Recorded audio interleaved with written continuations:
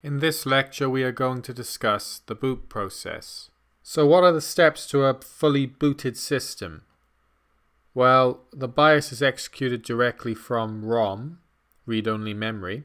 That is, the actual BIOS chip itself is getting read from and executed in real time. The BIOS loads our operating system bootloader into address 0x7C00 now obviously this is hexadecimal uh, number by here.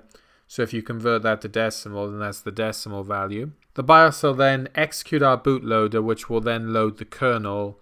And then obviously our kernel would load um, all the other essential pieces of our operating system. So that, that's it in a nutshell. Let's, let's go into a bit more detail. So first things first, what is a bootloader? Well, a bootloader is basically a small program that is responsible for loading the kernel of an operating system. Now, the operating system developer will generally write this bootloader himself. Microsoft have their own bootloaders, for example. Linux has Grub. So the bootloaders, they're generally small programs and they're simply responsible for loading the operating system's kernel.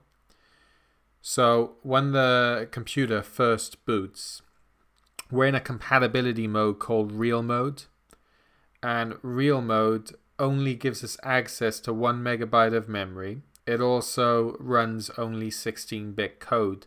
We're actually fairly limited at this stage.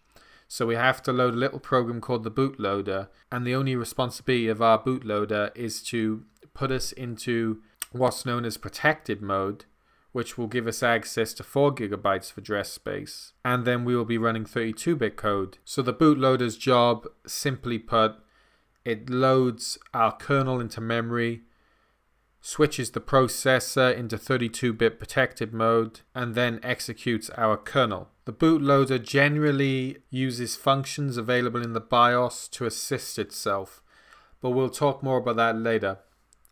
So all you need to know is the bootloader's job is to load our operating system, to load our kernel. And we write the bootloader. So the BIOS loads the bootloader, the bootloader loads the operating system. That's all you need to know for now. So the BIOS gets executed directly from ROM. So as soon as we turn on the PC, it'll start executing from the BIOS's ROM. Um, the BIOS will generally load itself into memory so that it's faster. So the BIOS is also responsible for initializing mandatory hardware. It'll it'll provide basic disk drivers to the hard disk and so on. So when the BIOS is finished doing its thing, it will attempt to load our bootloader as I've already said, and it does this by searching all storage mediums for a boot signature. The 511th byte and the 512th byte should contain a boot signature, right?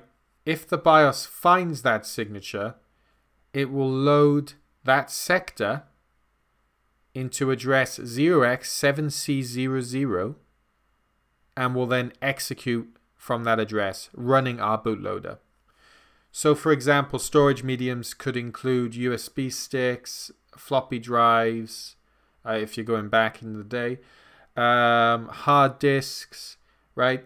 So it'll go through all of these devices. It'll say, okay, load the first sector of the first hard disk. And just to let you know, a sector is simply a block of storage. So for example, on most hard disks, we have 512 byte sectors. So the first sector will basically mean that it will load from the first byte to the 512th byte. Does that make sense? But we can get more on that later. This is just an overview so you understand what's going on. So the BIOS will load the first sector of the first hard disk and it will take a look at the 511th and 512th byte. If those bytes match the boot signature 0x55AA, then the BIOS has found a bootable medium. And obviously then it will load that into address 0x7C00 as I've said, and it will start executing from there. So that's how that works if if the BIOS can't find a bootable medium, then they, it can't do anything else, unfortunately. Um, so, you know, bootable mediums come in all shapes and sizes. It can be the USB pen drive. It's only bootable if the first sector has a boot signature. And obviously our boot signature is the last two bytes being 0x55AA. So as I've said, once the boot sector is loaded, it will actually do an absolute jump to address 0x7C00 and begin executing our bootloader. So another thing to note is the BIOS is almost like a kernel in itself.